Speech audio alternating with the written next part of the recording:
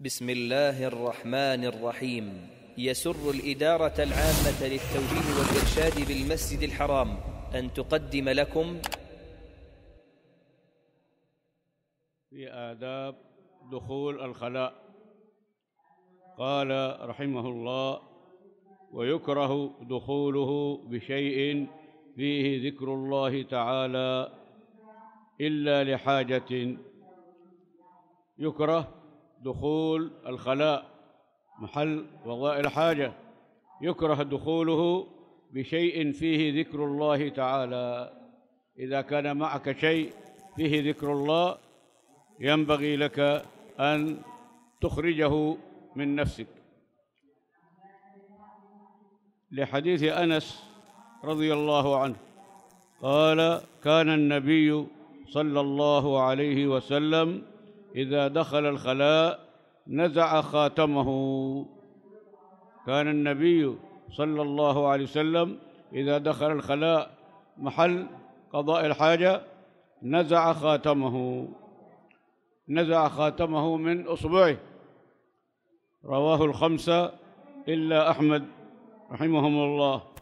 وقال الترمذي رحمه الله حديث حسن غريب. وجاء في غير في غير ما حديث أن نقش خاتمه محمد رسول الله. نقش خاتم الرسول مكتوب فيه محمد رسول الله صلى الله عليه وسلم. فلذلك كان إذا دخل الخلاء نزع خاتمه لأن فيه ذكر الله جل جلاله. قال ورفع ثوبه. ويكره رفع ثوبه قبل دنوه من الأرض.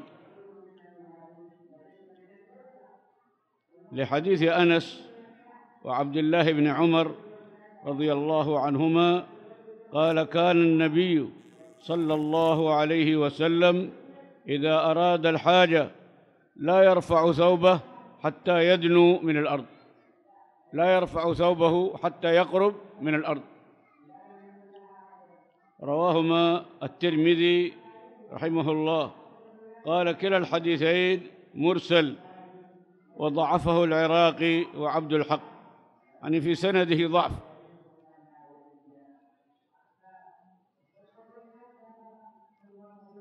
ولكن ينبغي أن يتأدب المسلم بهذه الآداب.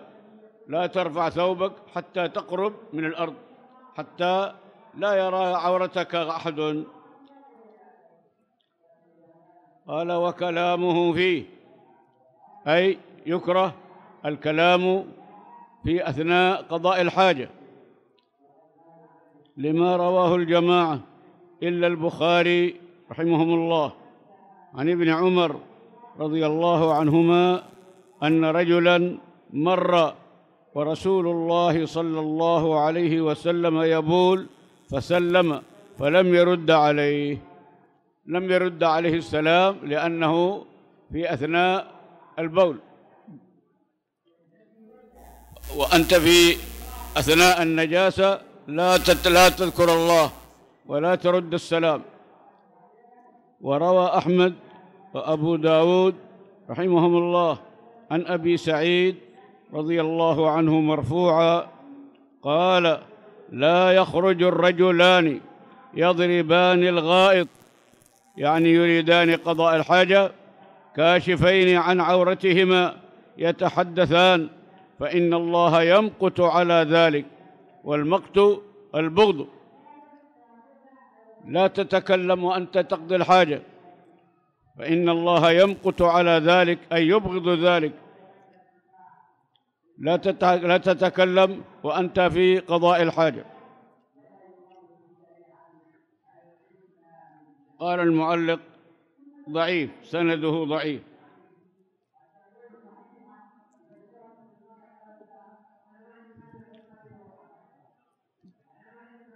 وبوله في شق كذلك يكره أن تبول في شق. إذا كانت الأرض فيها شق فيها حفرة لا تبول في ذلك المكان.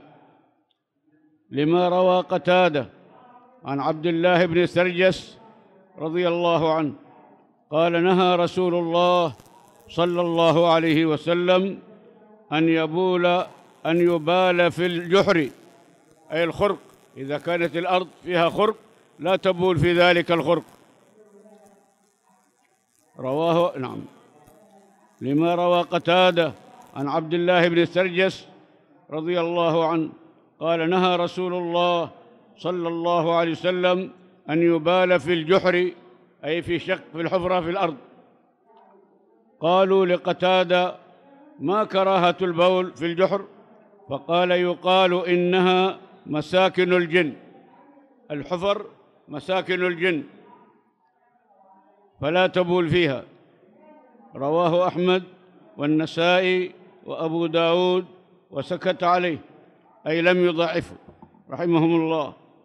وقال في التلخيص الحافظ ابن حجر رحمه الله وصححه ابن خزيمة وابن السكن رحمهم الله.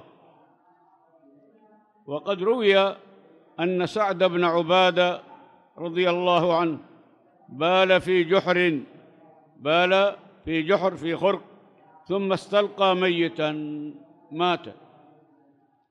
فسمعت فسمعت الجن تقول نحن قتلنا سيد الخزرج سعد بن عبادة رميناه بسهمين فلم نخطئ فؤاده.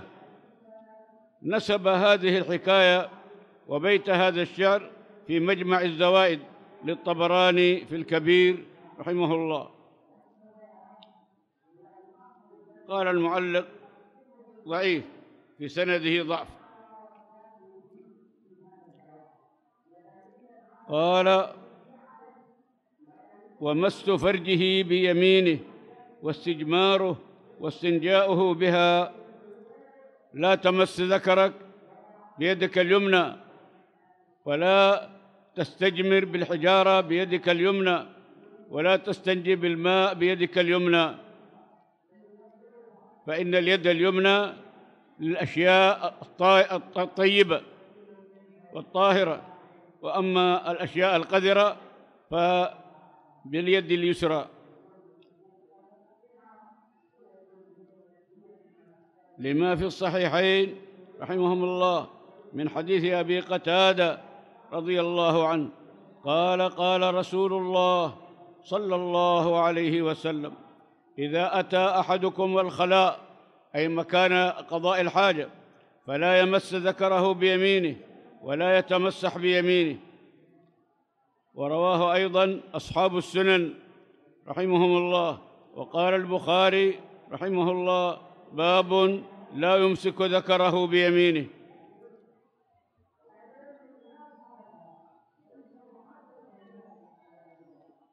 قال واستقبال النيرين. يعني استقبال الشمس والقمر. يكره استقبال الشمس والقمر. وجه الكراهة لما فيهما من نور الله تعالى أو لأن معهما ملائكة عليهم السلام.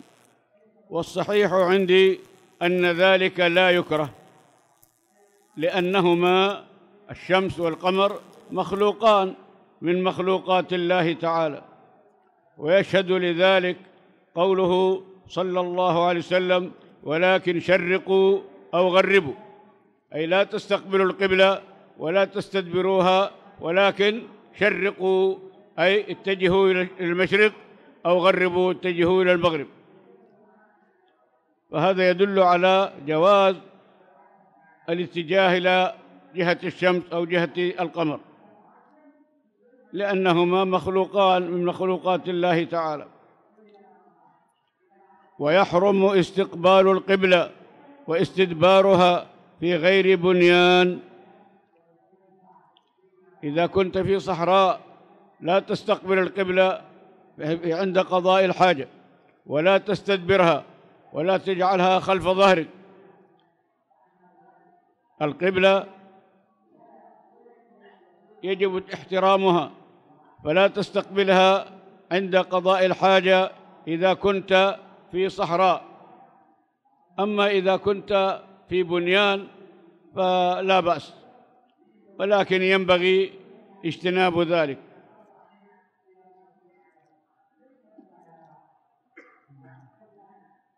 اتفق الأربعة رحمهم الله على ذلك إذا كان في غير بنيان أي في صحراء. لحديث أبي أيوب الأنصاري رضي الله عنه عن النبي صلى الله عليه وسلم قال إذا أتيتم الغائط مكان قضاء الحاجة فلا تستقبلوا القبلة ولا تستدبروها ولكن شرقوا أو غربوا.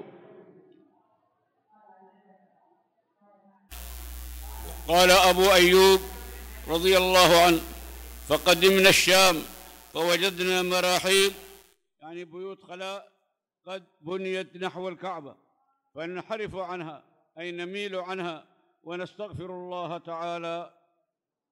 أن حتى في البناء حتى في البنيان ينبغي اجتناب استقبال القبلة أو استدبارها.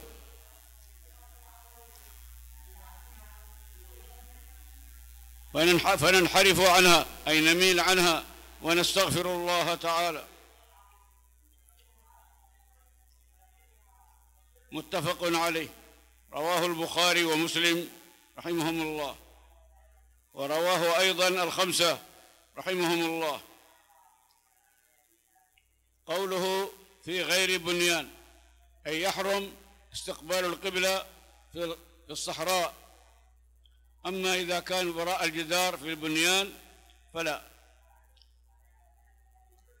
لحديث عبد الله بن عمر رضي الله عنهما قال رقيت أي طلعت وصعدت يوما على بيت حفصة أم المؤمنين أخته رضي الله عنها. فرأيت النبي صلى الله عليه وسلم على حاجته يعني يقضي حاجته مستقبل الشام مستدبر الكعبة لأنه كان وراء البنيان. متفق عليه. وروى الخمسة إلا النسائي رحمهم الله. عن جابر رضي الله عنه قال نهانا النبي صلى الله عليه وسلم أن نستقبل القبلة ببول فرأيته قبل أن يقبض بعام يستقبلها. وقال الترمذي رحمه الله حسن غريب وقال الحاكم رحمه الله صحيح على شرط مسلم. وصححه ابن السكن.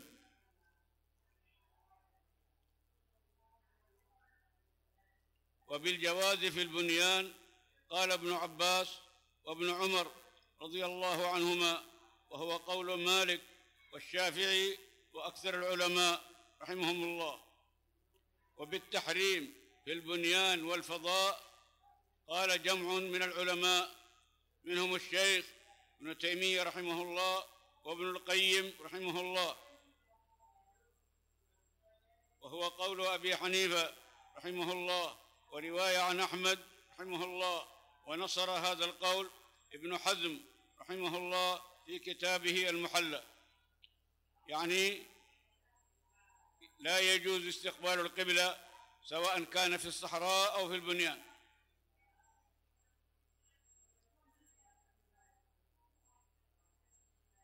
ولبثه فوق حاجته أي لا تمكث في ذلك المكان زيادة عن الحاجة.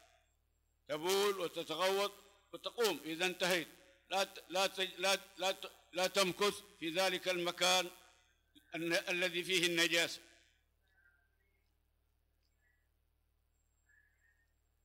قال وبوله في طريق وظل نافع وتحت شجرة عليها ثمرة. لا تبول في طريق في طريق الناس. ولا تبول في ظل نافع لعل أحدا يستظل في ذلك المكان. ولا تبول تحت شجره عليها ثمرة لأن قد يأتي إنسان يأخذ منها.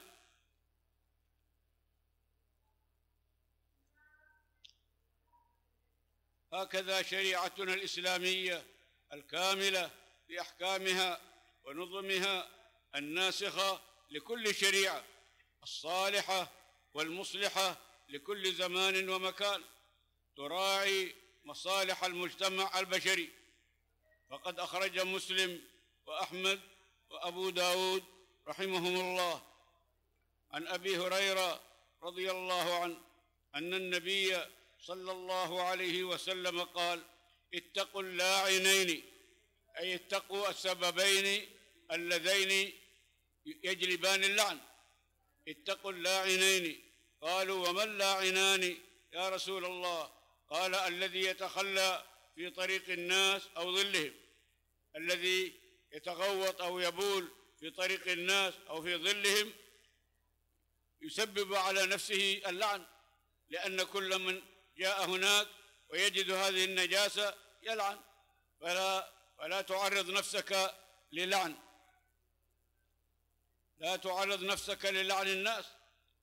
لا تقضي حاجتك في طريق الناس ولا في ظلهم.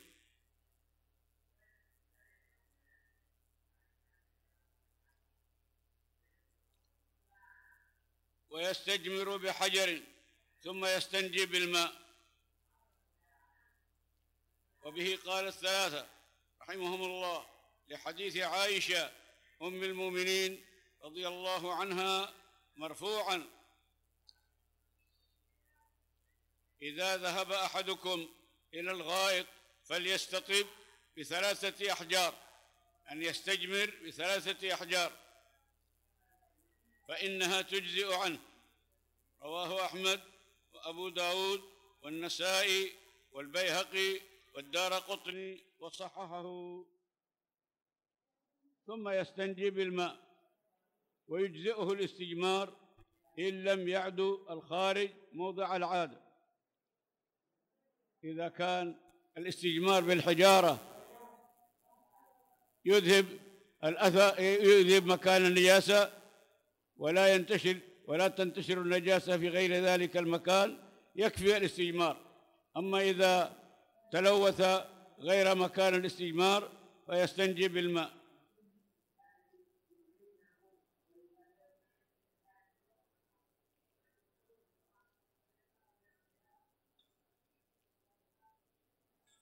قال واختار الشيخ ابن تيمية رحمه الله يجزئ الاستجمار ولو تعدى الخارج موضع العادة.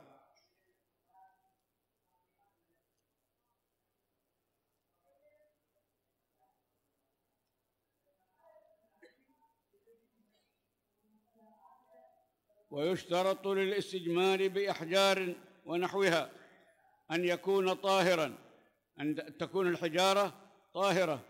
منقيا يعني يذهب الأثر غير عظم وروث وطعام ومحترم ومتصل بحيوان. لا تستجمر بالعظم لا يجوز الاستجمار بالعظم ولا يجوز الاستجمار بالروث ولا يجوز الاستجمار بما يؤكل ولا يجوز الاستجمار بشيء محترم. وكذلك لا يجوز الاستجمار بجسد الحيوان. لحديث أبي هريرة رضي الله عنه أن النبي صلى الله عليه وسلم نهى أن يستنجى بروث روث الدواب أو عظم.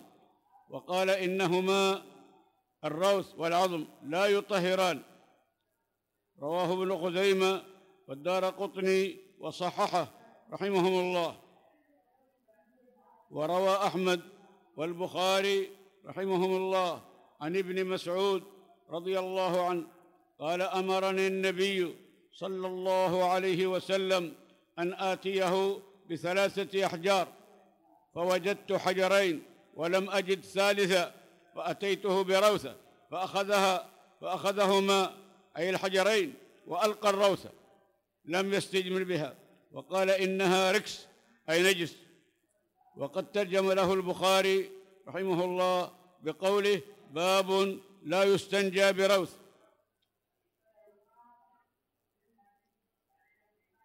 ويشترط ثلاث مسحات منقية فأكثر ولو بحجر. يشترط أن الاستجمار يكون بثلاث حجار.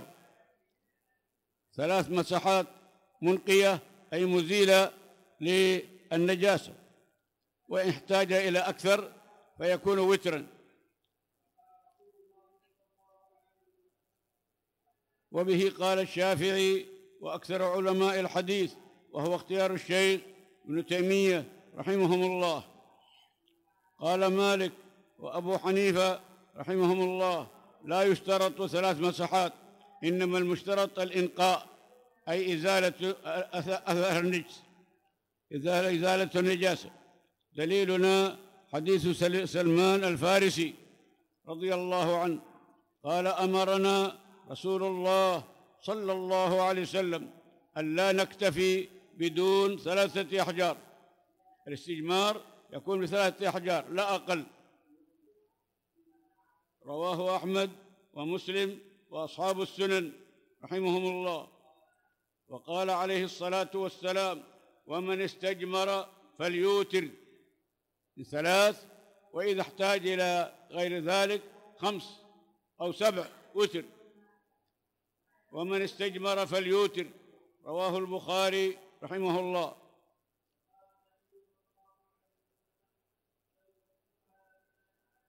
قال ولو بحجر ذي شعب حجر يكون له ثلاث جهات فيستنجي بكل جهة.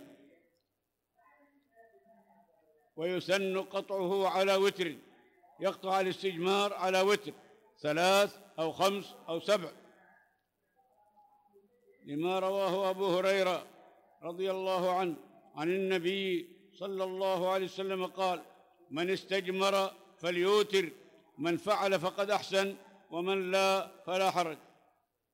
رواه أحمد وأبو داود وابن ماجة وابن حبان والبيهقي رحمهم الله. وقال المجد جد الإمام ابن تيمية الشيخ عبد السلام رحمه الله وقال المجد بعد سياق الحديث هذا محمول على أن القطع على وتر سنة فيما إذا زاد على ثلاث جمعا بين النصوص. ويجب الاستنجاء لكل خارج إلا الريح كل خارج بول أو غائط إلا الريح فإذا خرج منك ريح لا يجب الاستنجاء ولا يصح قبله وضوء ولا تيمم. قبل الاستجمار لا يصح الوضوء ولا التيمم بل يجب اولا الاستجمار والاستنجاء.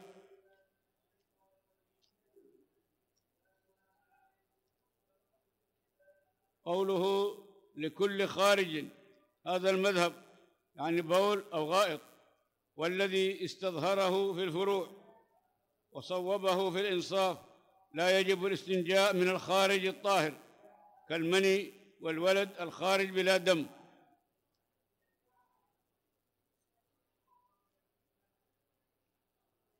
خروج المني يوجب الغسل.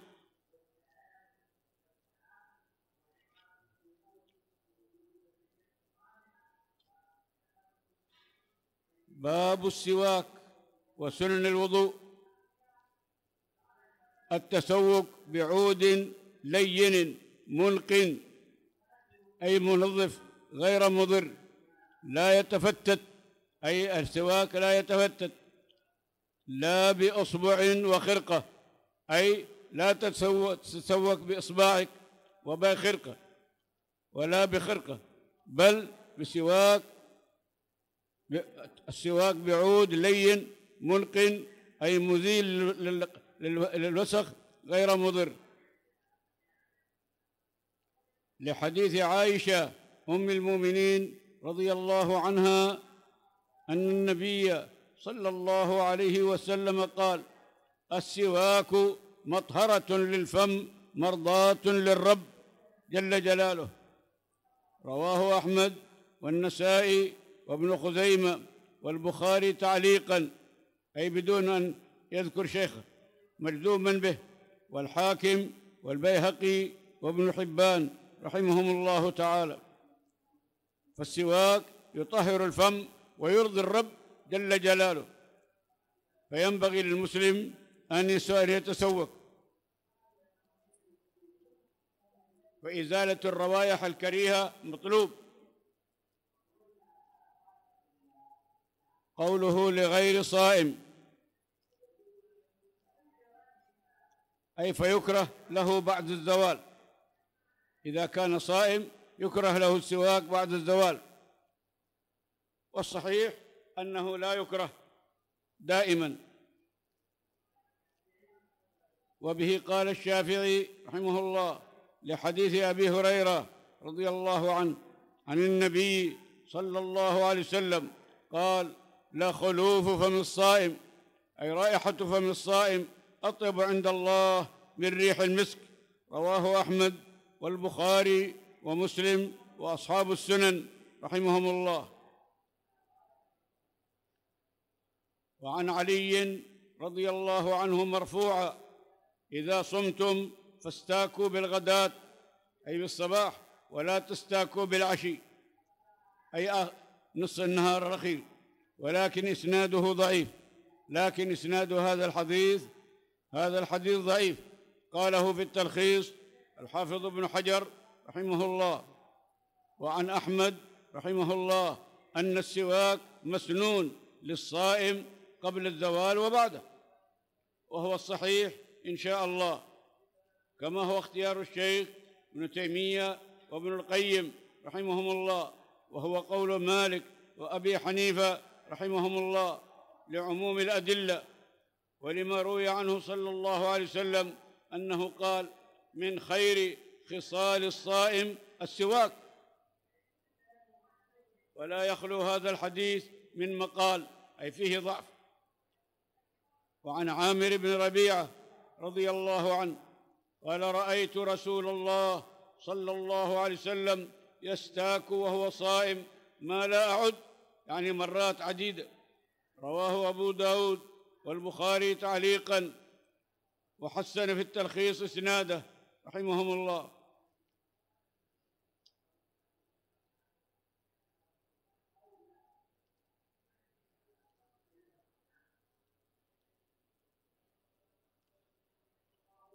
متأكد عند صلاة وانتباه وتغير فم يعني السواك يتأكد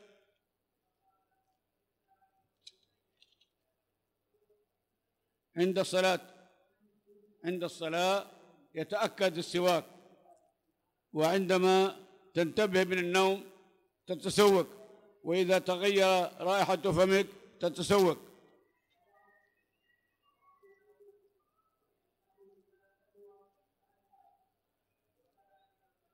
قال وبه قال الثلاثة رحمهم الله لحديث أبي هريرة رضي الله عنه مرفوعا لولا أن أشق على أمتي لأمرتهم بالسواك عند كل صلاة.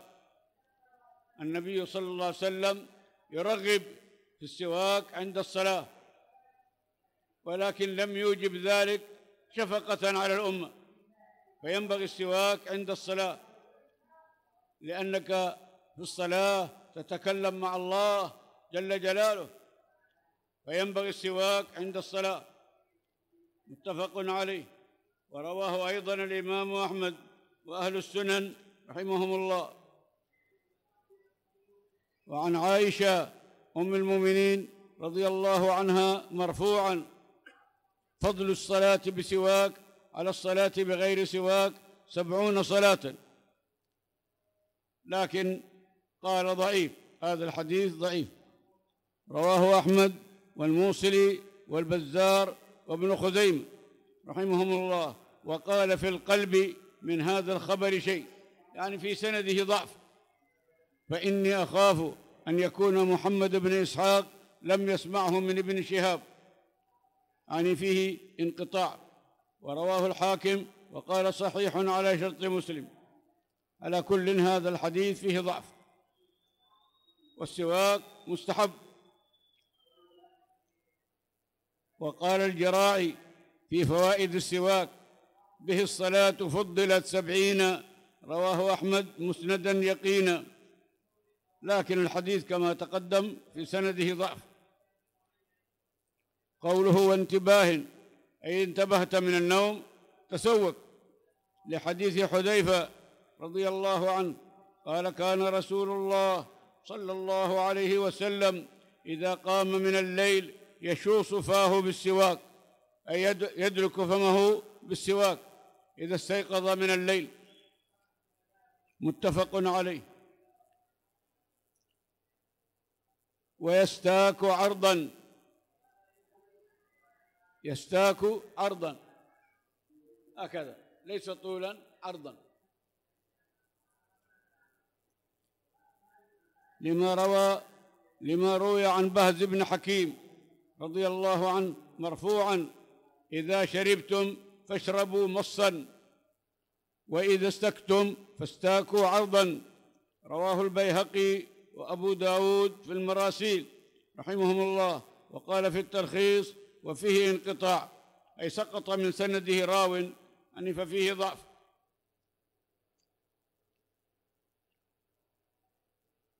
ويستاك عرضا مبتدئا بجانب فمه الأيمن.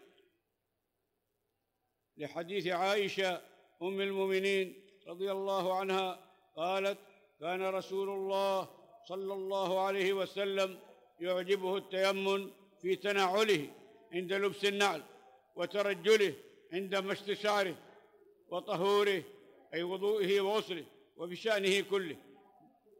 كل الأشياء الطيبة باليمين. قال ويدهن غبا يدهن يدهن شعره يوم ويتركه يوم. لحديث عبد الله بن مغفل رضي الله عنه قال نهى رسول الله صلى الله عليه وسلم عن الترجل أي المشط إلا غبا يعني يوم دون يوم. رواه الترمذي رحمه الله في الشمائل والترجل هو دهن الشعر وتسريحه. أي تمشيطه وروي هذا وروى هذا الحديث أصحاب السنن وصححه الترمذي رحمهم الله. ويكتحل وترا الكحل في العين وترا لحديث ابن عباس رضي الله عنهما. قال وقال كانت لرسول الله صلى الله عليه وسلم مكحلة لوعاء فيه كحل يكتحل منها كل الليلة. ثلاثة في هذه وثلاثة في هذه. ثلاثة أميال في اليوم في اليمنى وثلاثة في اليسرى. رواه الترمذي في الشمائل. والإمام أحمد وابن ماجه رحمهم الله. وتجب التسمية في الوضوء. يجب أن تقول بسم الله في ابتداء الوضوء. وقال الثلاثة يستحب ذلك. ولا يجب. دليلنا حديث أبي هريرة رضي الله عنه أن رسول الله صلى الله عليه وسلم قال إذا توضأتم إذا توضأت فقل بسم الله فإن حفظتك أي الملائكة لا تبرح تكتب لك الحسنات حتى تحدث من ذلك الوضوء. قال المعلق أخرجه الطبراني في الصغير رحمه الله من طريق إبراهيم بن محمد البصري عن علي بن ثابت عن محمد بن سيرين عن أبي هريرة رضي الله عنه مرفوعا. قال الهيثمي في المجمع رحمه الله رواه الطبراني في الصغير وإسناده حسن.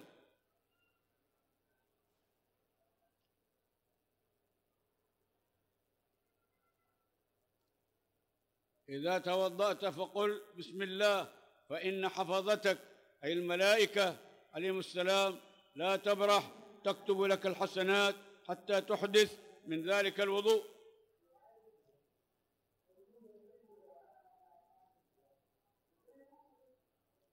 قال في مجمع الزوائد رواه الطبراني وإسناده حسن رحمهم الله. وعن أبي هريرة رضي الله عنه مرفوعا لا صلاة لمن لا وضوء له ولا وضوء لمن لم يذكر اسم الله عليه. رواه أحمد وأبو داود وابن ماجه والبيهقي والحاكم وصححه وتعقبه الذهبي بأن إسناده فيه لين أي ضعف قليل. مع الذكر يعني يجب التسمية مع الذكر لعموم حديث ابن عمر رضي الله عنهما مرفوعا إن الله تجاوز عن أمتي الخطأ والنسيان. فإذا نسيت ربنا يعفو. ولكن عليك أن تذكر بسم الله في أول الوضوء.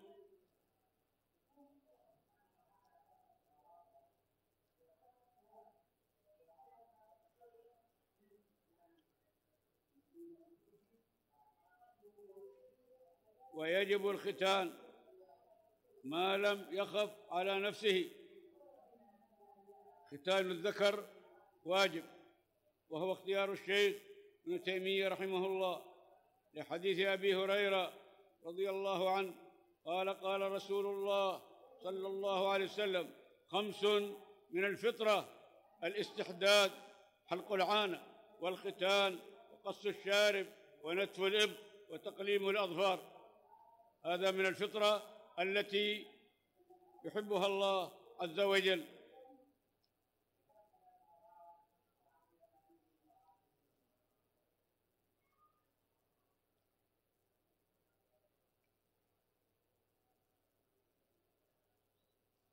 قال المجد جد الإمام ابن تيمية الشيخ عبد السلام رحمه الله.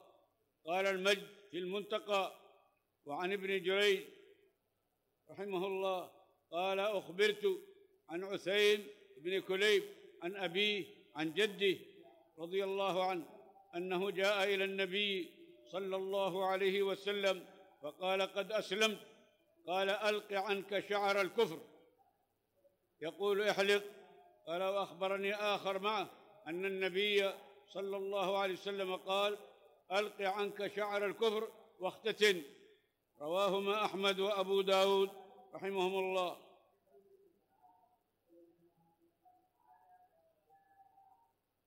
قال المعلق ضعيف.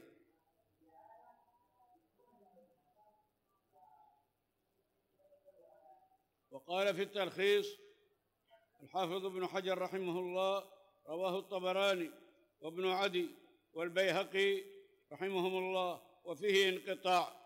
أي سقط من سنده راوي. وبوجوب الختان قال الشافعية في حق الذكر والأنثى كما هو المشهور في مذهبنا وعند الحنفية والمالكية مسنون في حقهما ولكن دون الأنثى وعليه العمل والقول به أولى. ختان الذكر واجب.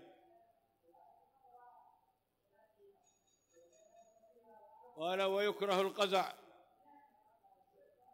لما روى نافع عن ابن عمر رضي الله عنهما قال نهى رسول الله صلى الله عليه وسلم عن القزع. فقيل لنافع ما القزع؟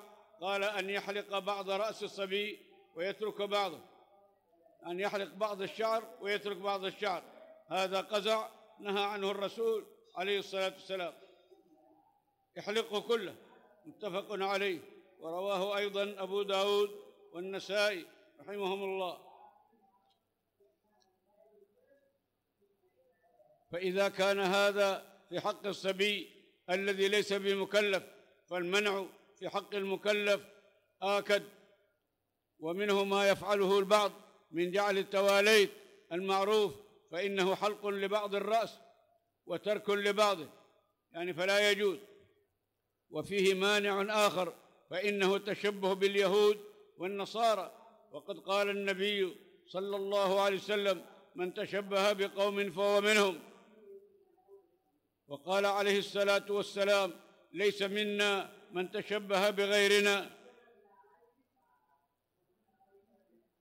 فلهذه النصوص وغيرها يكون التواليت محرما فعله. ومع ذلك فليس فيه جمال وليس وليس بمستحسن لدى العقلاء وأصحاب الأذواق السليمه بل هو مشوه مشوه للخلقه ولكن كما قال جل ذكره أفمن زين له سوء عمله فرآه حسنا. ولله در الشاعر حيث يقول يقضى على المرء في أيام محنته حتى يرى حسنا ما ليس بحسن.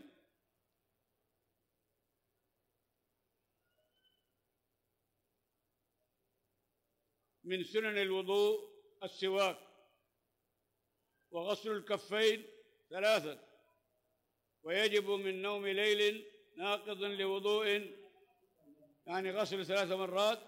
إذا استيقظت من نوم الليل تغسل يديك ثلاثا قبل ما تدخلها في الماء. ويجب من نوم ليل أي يجب غسل الكفين ثلاثا من نوم ليل ناقض لوضوء والبداءة بمضمضة ثم استنشاق والاستنشاق إدخال الماء في الأنف والمبالغة فيهما ما لم يكن صائما. سنن الوضوء ثمانية عشرة سنة. راجع الإقناع إن شئت. كتاب الإقناع. لحديث أبي هريرة رضي الله عنه مرفوعا لولا أن أشق على أمتي لأمرتهم بالسواك مع كل وضوء. النبي عليه الصلاة والسلام يرغب في السواك عند الوضوء. ولم يوجب رحمة بالأمة صلى الله عليه وسلم. رواه مالك وأحمد والنسائي والبيهقي وصححه ابن خزيمة رحمهم الله. قوله وغسل الكفين ثلاثا لثبوت ذلك عنه عليه الصلاة والسلام كما في المتفق عليه من حديث عثمان رضي الله عنه. قوله ويجب من نوم ليل أن غسل اليدين ثلاثا قبل إدخالها في الماء. خلافا للأئمة الثلاثة فعندهم لا يجب. دليلنا حديث أبي هريرة رضي الله عنه مرفوعا إذا استيقظ أحدكم من نومه فلا يغمس يده حتى يغسلها ثلاثا فإنه لا يدري أين باتت يده. رواه الجماعة رحمهم الله. قوله والبداءة بمضمضة ثم استنشاق والمبالغة فيهما لغير صائم. أما الصائم فيمضمض ويستنشق برفق حتى لا يصل الماء إلى الحلق. لحديث لقيط بن صبرة رضي الله عنه قال قلت يا رسول الله أخبرني عن الوضوء. قال أسبغ الوضوء أي أكمل الوضوء وخلل بين الأصابع. وبالغ في الاستنشاق إلا أن تكون صائما. الصائم يستنشق برفق حتى لا يصل الماء إلى الحلق.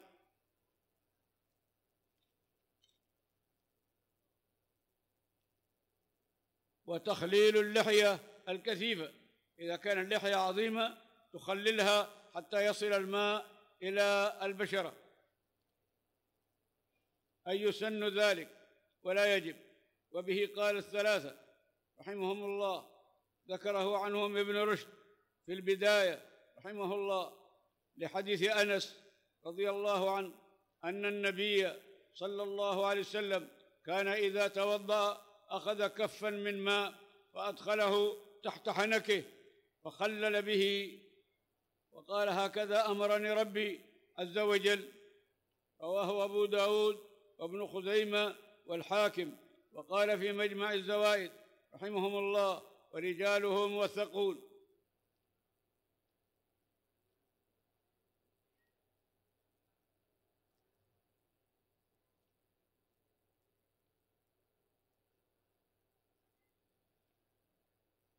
قوله هو الأصابع يعني تخليل الأصابع حتى يصل الماء إلى البشرة لأن العقد قد لا يصل لها الماء وتخلل الأصابع حتى يصل الماء تماما.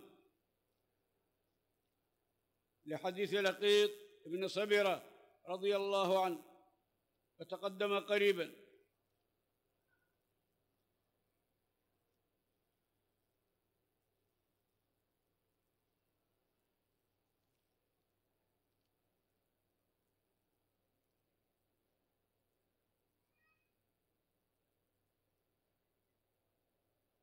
قال لقيط بن صبرة رضي الله عنه قال قلت يا رسول الله أخبرني عن الوضوء؟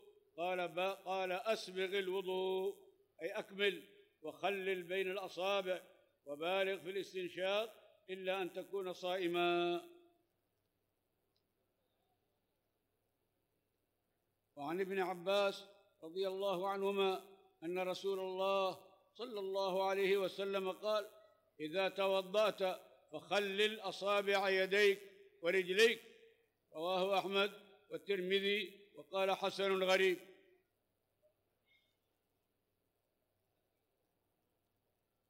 والتيامن أي البدء باليمين. لحديث عائشة أم المؤمنين رضي الله عنها مرفوعا إذا توضأتم فابدأوا بميامنكم أي اليمين ثم اليسار. رواه أحمد وأبو داود وصححه ابن خزيمة رحمهم الله وتقدم في باب السواك حديث عائشة أم المؤمنين رضي الله عنها كان صلى الله عليه وسلم يعجبه التيمن أي البدء باليمين في تنعله لبس النعل وطهوره أي وضوئه وغسله وفي شأنه كله. الأشياء الطيبة باليمين. قال وأخذ ماء جديد للأذنين. يأخذ لأذنيه ماء غير الماء الذي أخذه لرأسه. ولا يخلو هذا الحديث من مقال. والغسلة الثانية والثالثة.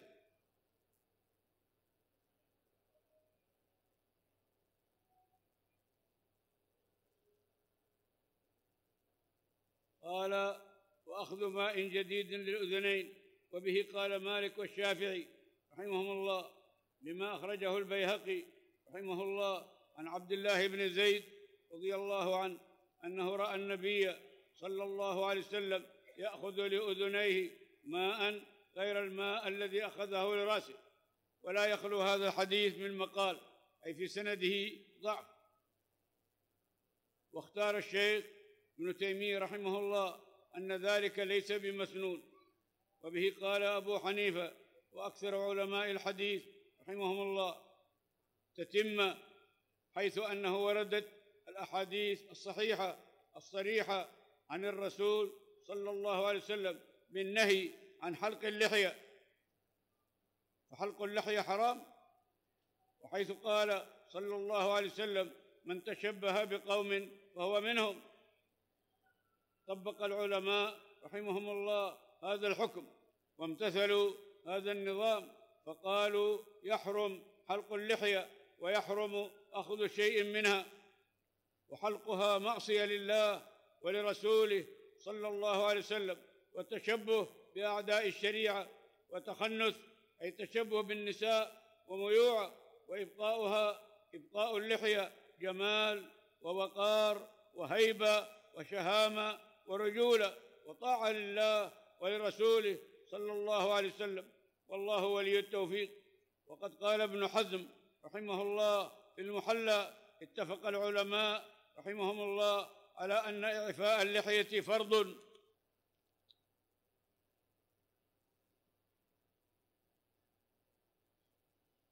باب فروض الوضوء وصفته. فروضه ستة.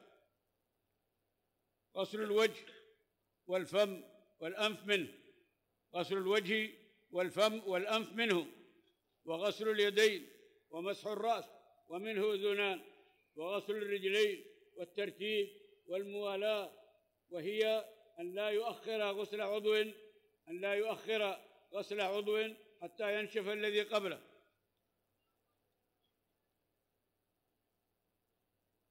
قال الشيخ صالح البليهي رحمه الله فروضه ستة فروض الوضوء ستة لقوله جل ذكره يا أيها الذين آمنوا إذا قمتم إلى الصلاة فاغسلوا وجوهكم وأيديكم إلى المرافق وامسحوا برؤوسكم وأرجلكم إلى الكعبين. قوله والفم والأنف منه يعني من الوجه. فالمضمضة والاستنشاق يدخلان في غسل الوجه. وعند الأئمة الثلاثة رحمهم الله ذلك سنة ليس بواجب إلا في الطهارة الكبرى أي غسل الجنابة ونحوه. فتجب المضمضة والاستنشاق عند أبي حنيفة رحمه الله ذكره عنهم ابن رشد في بداية المجتهد رحمه الله. والمضمضه والاستنشاق من الوجه لا بد منها لا بد من غسل لا بد من المضمضة والاستنشاق.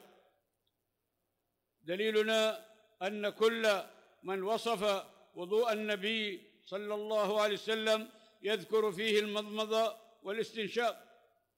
وجاء في حديث أبي هريرة رضي الله عنه أن النبي صلى الله عليه وسلم قال إذا توضأ أحدكم فليجعل في أنفه ماء ثم ليستنثر متفق عليه.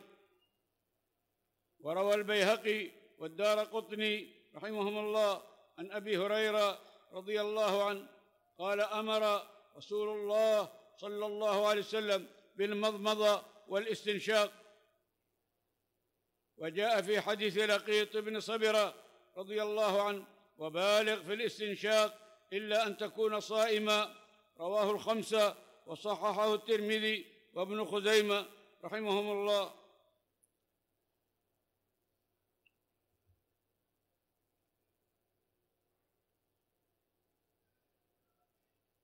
ومسح الرأس ويجب أخذ ماء جديد لمسحه وفاقا لأبي حنيفة والشافعي. ولا بد من مسح جميع الرأس ولا بد من مسح جميع الرأس. وبه قال مالك وهو اختيار الشيخ ابن تيمية وابن القيم رحمهم الله. وقال أبو حنيفة رحمه الله يجزئ مسح ربعه وقال الشافعي رحمه الله يجزئ ما يقع عليه اسم المسح.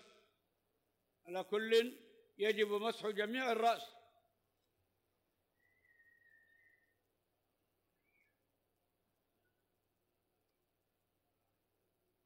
قوله هو الترتيب. يعني يغسل وجهه ثم يديه بالترتيب. وبه قال الشافعي وكثير من العلماء رحمهم الله لأن الله جل شأنه ذكره مرتبا وأدخل ممسوحا وهو الرأس بين مغسولين. وقطع النظير عن نظيره والعرب لا تفعل ذلك إلا لفائدة والفائدة هنا هي الترتيب. فما بدأ الله به قولا نبدأ به نحن فعلا. وقد قال صلى الله عليه وسلم في حجة الوداع ابدأوا بما بدأ الله به ثم بدأ بالصفا. الله بدأ بذكر الصفا فنبدأ بالصفا ثم المروة. وقال مالك وأبو حنيفة رحمهم الله الترتيب ليس بواجب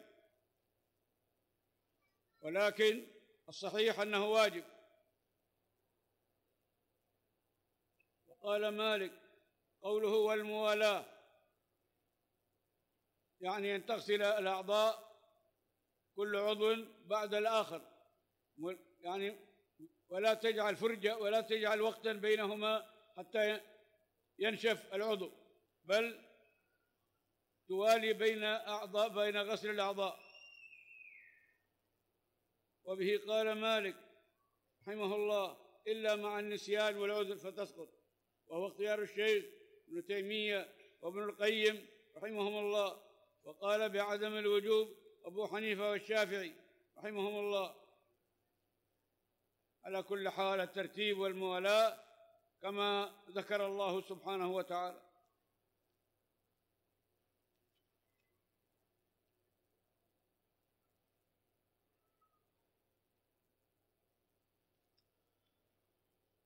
على طريق عطاء.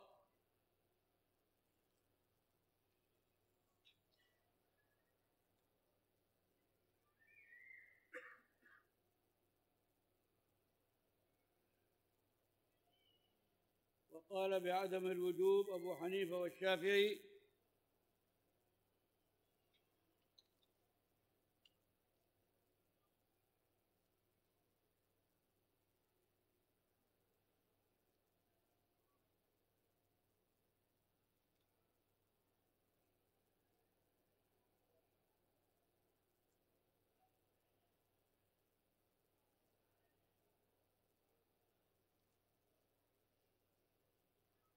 دليلنا أن الرسول عليه الصلاة والسلام هو المشرع والمبين لأمته أحكام دينها وكل من وصف وضوء الرسول صلى الله عليه وسلم وصفه متواليا يعني كل عضو بعد الآخر. وعن أنس رضي الله عنه أن رجلا جاء إلى النبي جاء النبي صلى الله عليه وسلم وقد توضأ وترك على ظهر قدمه مثل موضع الظفر. لم يصبه الماء. فقال ارجع فأحسن وضوءك. قال النبي صلى الله عليه وسلم ارجع فأحسن وضوءك. رواه أحمد وأبو داود وابن ماجه وابن خزيمة والدار قطني رحمهم الله. وقال الإمام أحمد رحمه الله هذا إسناد جيد. فلا بد من إسباغ الوضوء وإكمال غسل الأعضاء.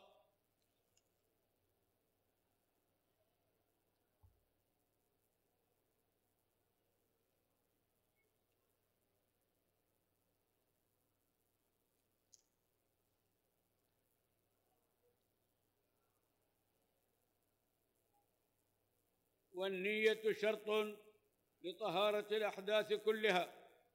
والنية محلها القلب يعني يقصد بقلبه. لحديث عمر رضي الله عنه إنما الأعمال بالنيات فلا بد من النية. والنية هو القصد تقصد بقلبك الوضوء المفروض. وبهذا قال مالك والشافعي رحمهم الله وهو اختيار الشيخ ابن تيمية رحمه الله. قال أبو حنيفة لا تجب. الصحيح أن النية شرط.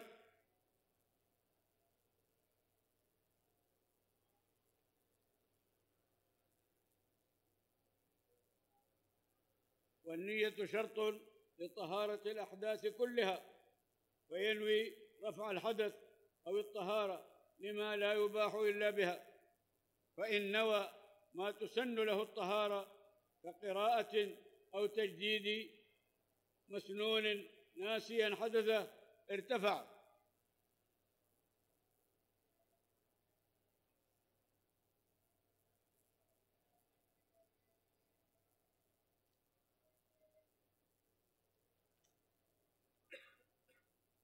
وإن نوى غسلا مسنونا أجزأ عن واجب وكذا عكسه.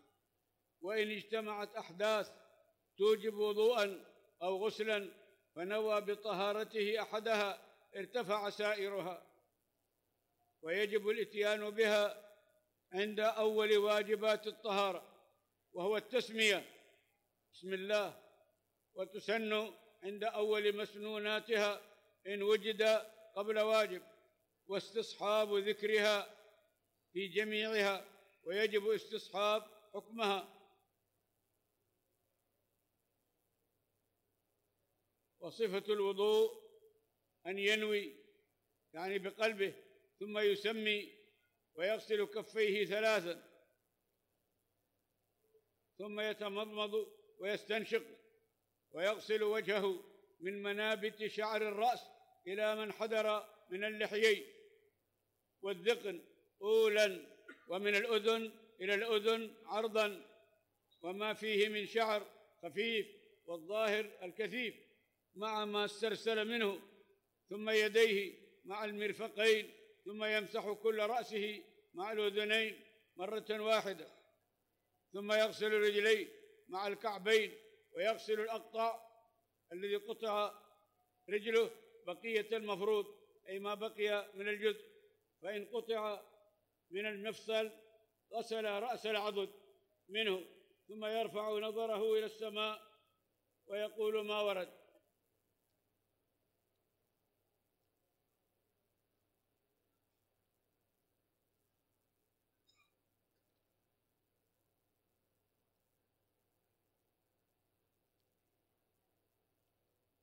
قوله ثم يتمضمض لفعله صلى الله عليه وسلم كما في الصحيحين من حديث علي رضي الله عنه وعند الأئمة الثلاثة رحمهم الله المضمضة والاستنشاق سنة إلا في الطهارة الكبرى أي الجنابة ونحوه فيجب عند أبي حنيفة رحمه الله وتقدم ذلك.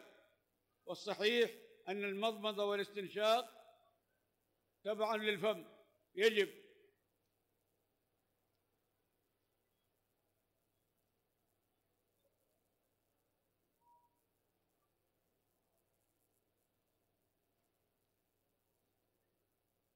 لما رواه مسلم رحمه الله من حديث عمرو بن عبسة رضي الله عنه وقد ترجم عليه المجد باب غسل المسترسل من اللحية.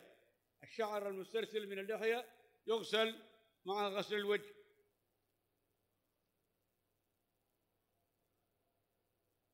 قوله ثم يديه مع المرفقين أي يجب ذلك وهو قول الأئمة الثلاثة رحمهم الله لأن إلى في الآية بمعنى مع إلى المرفقين مع المرفقين لا بد من غسل المرفقين.